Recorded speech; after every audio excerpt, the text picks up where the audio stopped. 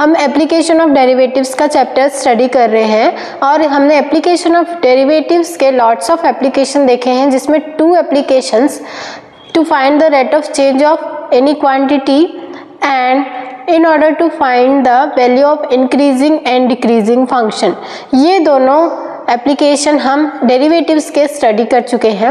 आज हम इसका नेक्स्ट एप्लीकेशन स्टडी करेंगे, जो है to find the equation of tangents and normals किसी भी टेंजेंट्स का एंड नॉर्मल का इक्वेशन हम किस तरह से फाइंड करेंगे? With the help of derivative तो वो पढ़ने से पहले हम लोग ये देखते हैं कि टेंजेंट एंड नॉर्मल क्या होते हैं। तो अगर कोई भी कर्व बना हो, किसी भी तरह से अगर कर्व हमें कुछ इस तरह से मिले कर्व हमें इस तरह से मिले या हमें इस तरह से मिले। किसी भी टाइप का अगर हमें कर्व मिला है और इस कर्व के किसी भी एक फिक्स्ड पॉइंट से होकर कोई एक सीधी लाइन जाती है ठीक है? तो इस तरह के लाइन को हम कहेंगे इस कर्व का टेंजेंट ठीक है? तो टेंजेंट हमेशा एक स्ट्रेट लाइन होता है, जो किसी भी कर्व के एक फिक्स पॉइंट से होकर जाता है। तो टेंजेंट के लिए नेसेसरी ये कंडीशन है कि ये इसके एक फिक्स पॉइंट को टच करना चाहिए। अगर हम सर्कल का शेप देखें तो सर्कल के भी एक फिक्स पॉइंट को टच करते हुए अगर कोई लाइन इस तरह से गुजरता है तब हम कहेंगे कि ये सर्कल का टेंजेंट है। ठीक है? और इस टेंजेंट का जो एक स्ट्रेट लाइन है, इसका हमें इक्वेशन फाइंड करना है डेरिवेटिव्स के हेल्प से। तो टेंजेंट के लिए हम ये बोल सकते हैं कि tangent is a straight line which passes through a fixed point of any curve इसे हम लिख लेते हैं। तो Tangent is a straight line which passes through a fixed point of any curve. ये एक ऐसा स्ट्रेट लाइन है जो एक फिक्स पॉइंट से किसी भी कर्व के गुजरता है। हमने यहाँ पर उस पॉइंट को कंसीडर किया है। अगर यहाँ पर इस पॉइंट पर कोई भी पॉइंट है तो अगर यहाँ से होकर दूसरी लाइन गुजर रही है तो हम इसे भी इस कर्व का टेंजेंट कहेंगे। यहाँ से अगर कोई लाइन गुजर रही है इस तरह से तो हम इसे भी इसका टेंजेंट कहेंगे। मतलब एक कर्व से कई सारे टेंजेंट होकर गुजर सकते हैं। कंडीशन ये है कि वो इसके एक पॉइंट को टच करते हुए जाना चाहिए। एक से अधिक पॉइंट को टच नहीं करना चाहिए। ठीक है? तो ये टेंजेंट हो गया। अब हमने यहाँ पर लिखा है कि tangent is a straight line और हमें डेरिवेटिव की हेल्प से टेंजेंट का इक्वेशन फाइंड करना है।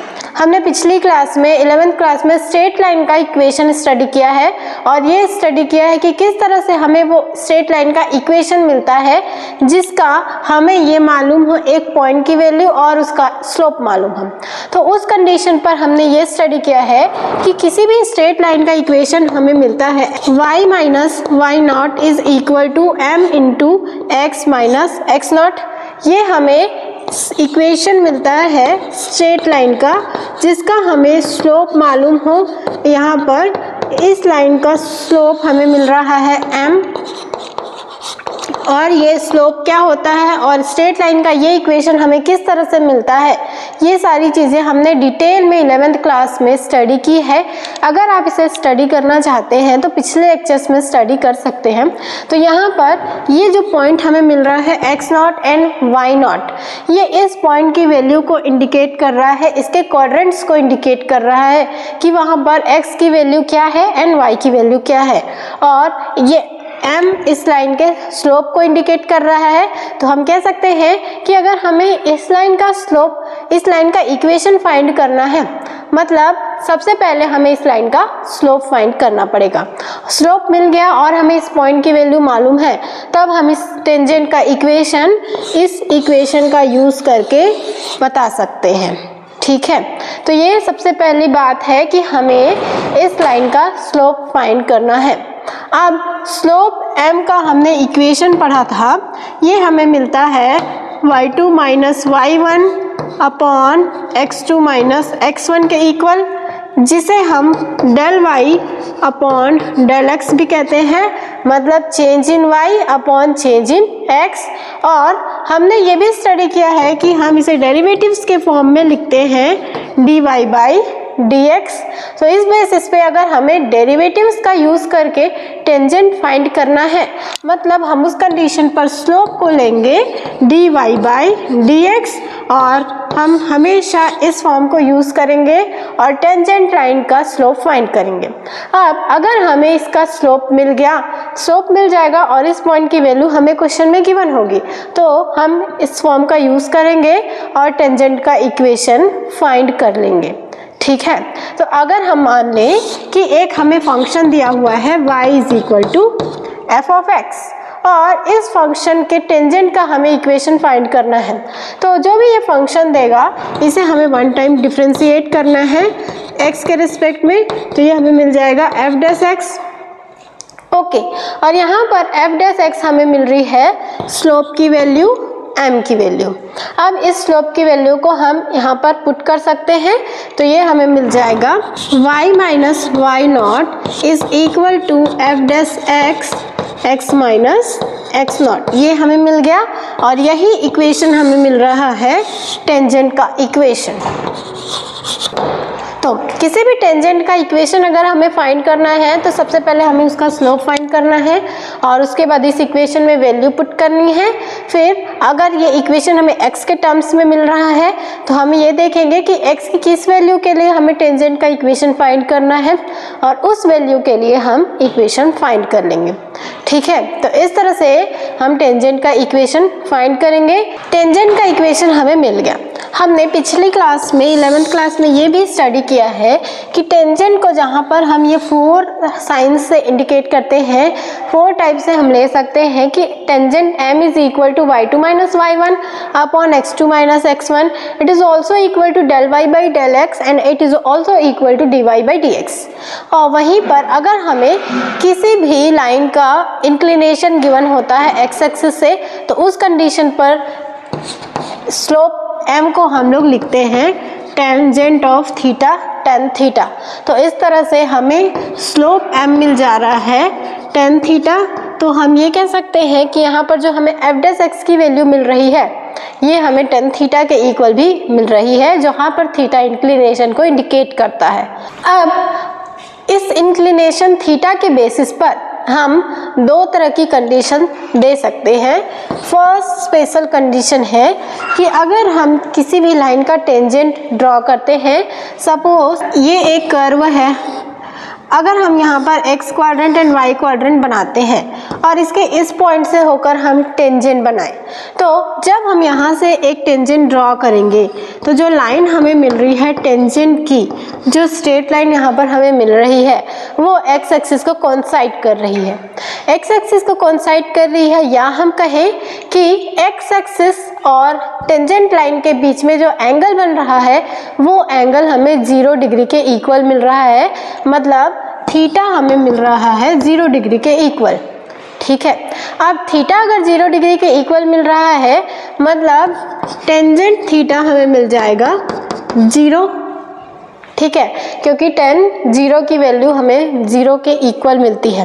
तो इस कंडीशन पर हम ये निष्कर्ष निकाल सकते हैं, ये बता सकते हैं कि जो टेंजेंट लाइन है, वो लाइन एक्स एक्सिस को या तो कॉन्साइड कर रही है या एक्स एक्सिस के पैरेलल है।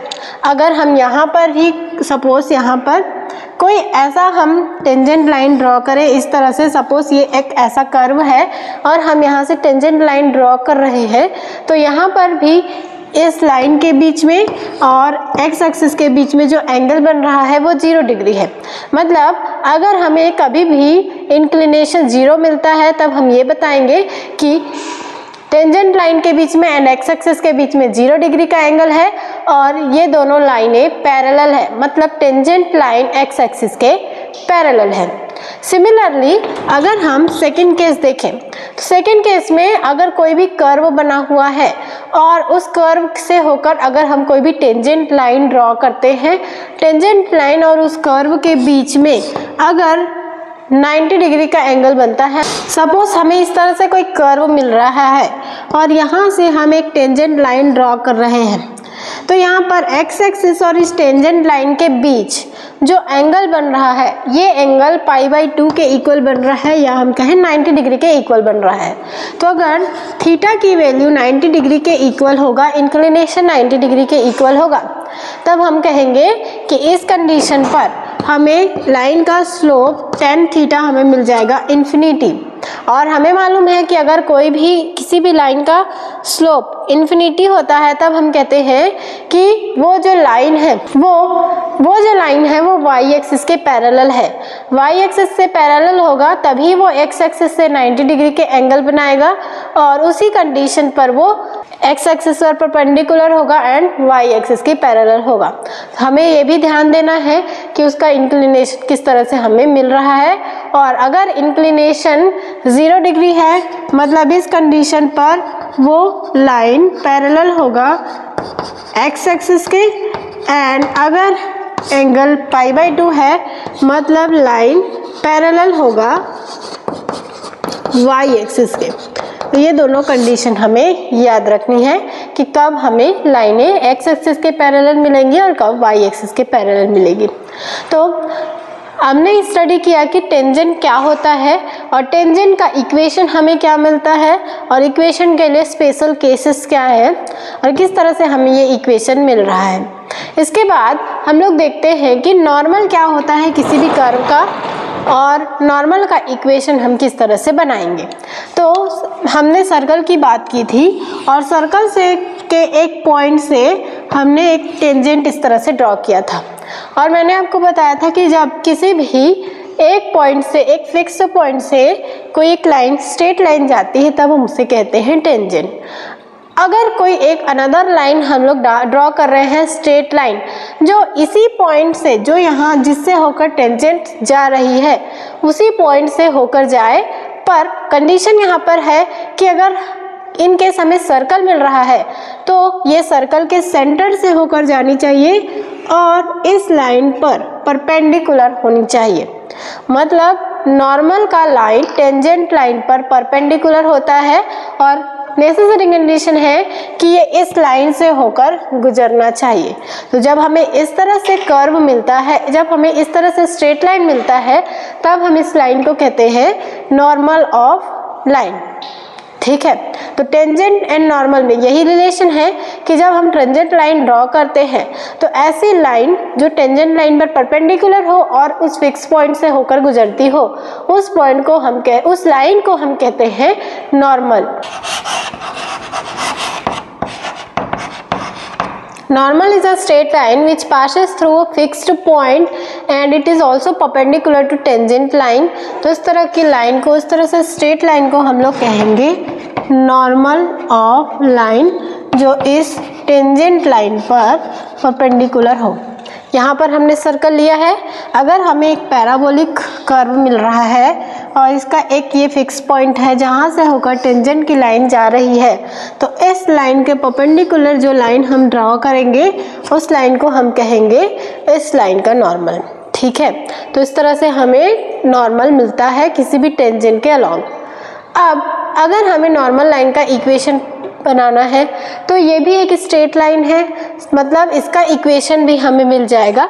y minus Y zero is equal to M into X minus X naught जहाँ पर y नॉट और x नॉट इस फिक्स पॉइंट की वैल्यू को इंडिकेट कर रहे हैं। एंड m नॉर्मल लाइन के स्लोप को इंडिकेट कर रहा है। अब हमें फाइंड करना है कि यहाँ पर इस कंडीशन पर हमें स्लोप क्या मिलेगा? डेरिवेटिव के टर्म में। तो हमने टेंजेंट लाइन का स्लोप फाइंड किया था एफ़ डेस एक्स अगर एफ़ यहाँ पर, अगर कोई फ़ंक्शन है y is equal to F X तो इसका डिफ्रेंशिएशन फ़र्स्ट ऑर्डर डेरिवेटिव हमें मिलता है एफ़ डेस एक्स और यही एफ़ डेस एक्स हमने निकाला था कि इस टेंजेंट लाइन का स्लोप होगा। अब जो नॉर्मल लाइन है, उसका स्लोप हमें पता करना है। और हम यहाँ से देख रहे हैं कि जो टेंजेंट लाइन है एंड नॉर्मल लाइन है, ये दोनों लाइनें आपस में परपेंडिकुलर हैं।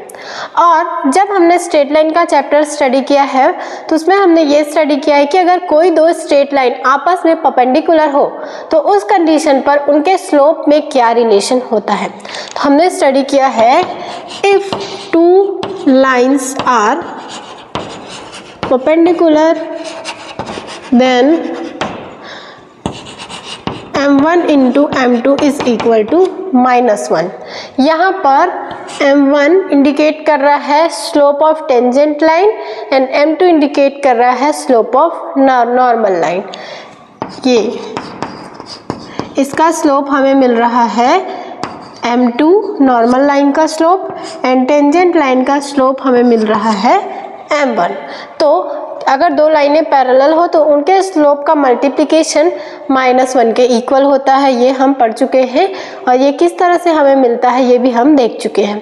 अब अगर हमें एक लाइन का स्लोप मालूम है टेंजेंट लाइन का एफ़ डेस एक्स तो वो वैल्यू हम यहाँ पर पुट करते हैं। तो ये वैल्यू अगर है एफ़ डेस एक्स तो यहाँ से नॉर्मल लाइन का स्लोप एम टू हमें मिल जाएगा। One upon minus one upon F dash X. ये हमें स्लोप मिल गया स्लोप ऑफ़ नॉर्मल लाइन अब अगर नॉर्मल लाइन का स्लोप हमें मिल गया तो यहाँ पर m की प्लेस पे हम वैल्यू पुट करेंगे और इस लाइन का स्लोप फाइंड कर लेंगे। तो ये हमें मिल जाएगा y minus Y zero is equal to minus one upon F dash X X minus X zero ये हमें इक्वेशन मिल रहा है नॉर्मल लाइन का। अगर हम इस टर्म को इस साइड ट्रांसफ़र करें मल्टीप्लिकेशन करके तो ये हमें मिल जाएगा F dash X into Y minus Y naught plus X minus X naught is equal to zero तो अगर हम इसे इस फॉर्म पे लें या हम इस फॉर्म पे लें, दोनों ही इक्वेशन है नॉर्मल लाइन के। ओके तो इस तरह से हम किसी भी नॉर्मल लाइन का इक्वेशन निकाल सकते हैं, उसकी वैल्यू फाइंड कर सकते हैं। तो सबसे पहले आज की क्लास में हमने ये स्टडी किया कि टेंजेंट्स क्या होते हैं नॉर्मल क्या होते हैं और टेंजेंट एंड नॉर्मल लाइन का आपस में क्या रिलेशन होता है और उनके इक्वेशन हम किस तरह से फाइंड करेंगे। अब हम एक एग्ज़ाम्पल देखते हैं। हमें गिवन है find the slope of curve y is equal to X cube minus X at X is equal to two हमें एक इक्वेशन दिया हुआ है y के टर्म में। हमें इस लाइन का स्लोप फाइंड करना है। तो स्लोप फाइंड करने के लिए हमने स्टडी किया है। हम यूज़ करते हैं one time differentiation D Y by D X तो हम यहाँ पर भी डिफ्रेंशिएट करेंगे। तो ये हमें मिल जाएगा d upon D X X cube minus X X cube का डिफ्रेंसिएशन हमें मिल जाएगा three X square minus X का डिफ्रेंसिएशन हमें मिल जाएगा वन। तो हमें यहाँ पर D Y by D X की वैल्यू मिल गई three X square minus one. और D Y by D X को ही हम स्लोप कहते हैं, स्लोप एम तो क्या ये हमें यहाँ पर स्लोप मिल गया? तो अभी ये हमें यहाँ पर स्लोप नहीं मिला है क्योंकि हमने यहाँ पर x की वैल्यू पुट नहीं करी है। तो यहाँ पर हम अभी लिखेंगे at x is equal to two. अब हम x की वैल्यू पुट करते हैं तो ये हमें मिल जाएगा three into two square minus one तो यहाँ से ये हमें मिल जाएगा इलेवन और ये इलेवन हमें मिल रहा है इस लाइन का स्लोप जो इस लाइन का इक्वेशन हमें गिवन है। तो इस तरह से हम किसी भी इक्वेशन से रिलेटेड लाइन का स्लोप फाइंड कर सकते हैं। एक नेक्स्ट क्वेश्चन देखते हैं।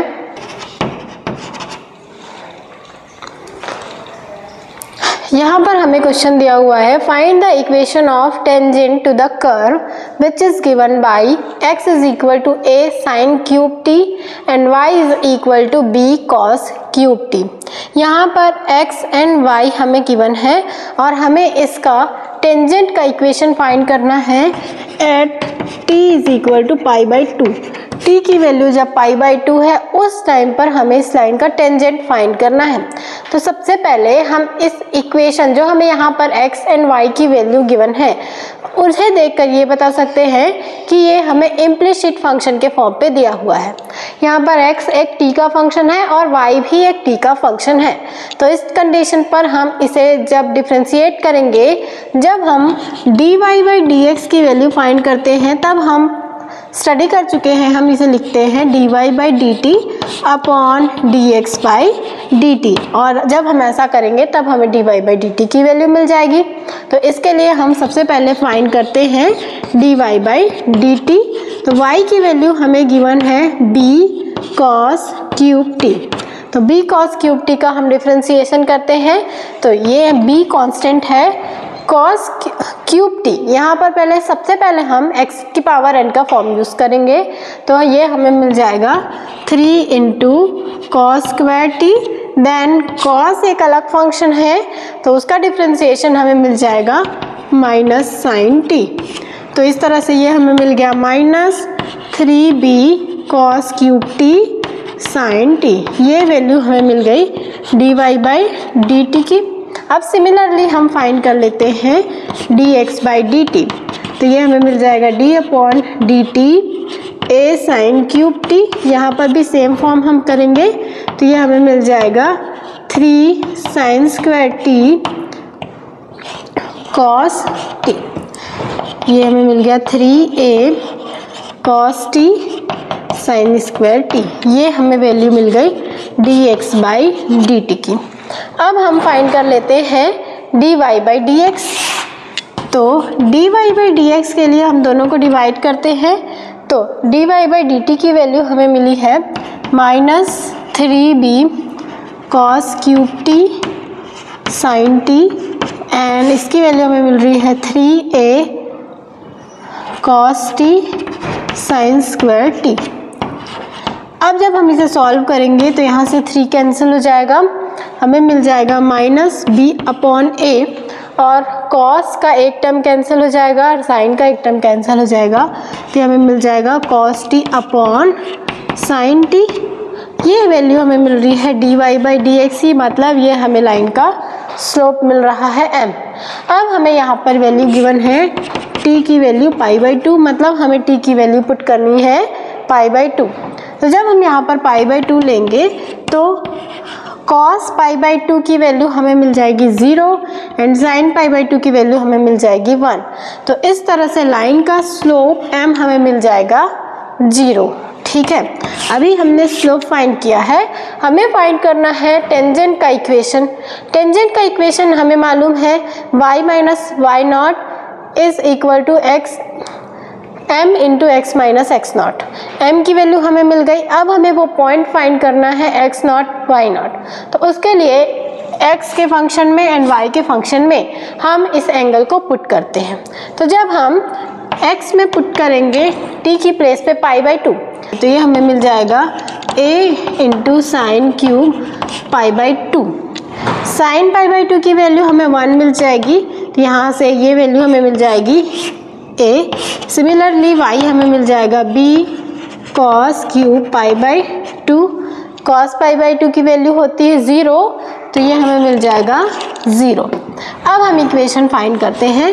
तो इक्वेशन हमें मिलता है y minus Y naught is equal to M into X minus X naught ये हमें मिलता है इक्वेशन ऑफ़ टेंजेंट अब X naught Y naught and M की वैल्यू पुट करते हैं। वाई नॉट की वैल्यू है ज़ीरो स्लोप एम की वैल्यू है ज़ीरो एंड एक्स नॉट की वैल्यू है ए जब हम इसे सॉल्व करेंगे तो ये हमें मिल जाएगा y is equal to zero और y is equal to zero ही इस लाइन का टेंजेंट लाइन का स्लोप हमें मिल रहा है। ओके okay, तो इस तरह से हम किसी भी लाइन का टेंजेंट लाइन का स्लोप फाइंड कर सकते हैं। तो इन दो एग्जांपल्स से आपको समझ में आ गया होगा कि हमें किस तरह से क्वेश्चन को सॉल्व करना है और टेंजेंट एंड नॉर्मल लाइन का इक्वेशन फाइंड करना है। नेक्स्ट क्लास में हम टेंजेंट एंड नॉर्मल से रिलेटेड एनसीईआरटी की एक्सरसाइज सॉल्व करेंगे।